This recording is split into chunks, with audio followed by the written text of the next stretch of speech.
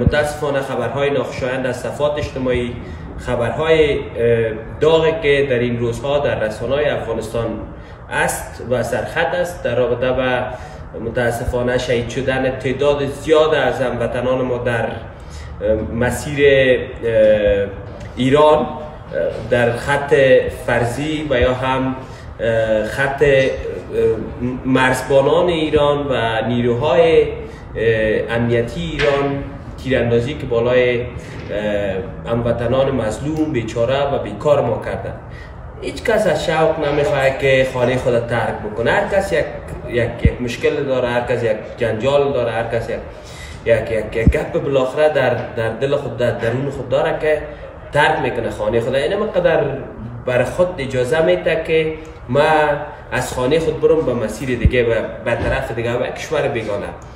مهمان نوازی از خودگذری اگر غیر قانونی هم وارد خاکتان شده بود شما به اساس قانون و به اساس امو ماده هایی که در قانون حقوق بشر در چست به او اساس پیش می رفتین اون تمام موارد را پایمال یا زیر پا نمی کردیم بسیار خوش می شدیم از ما یک کشور اسلامی هستیم شما کشور همسایه ما هستیم.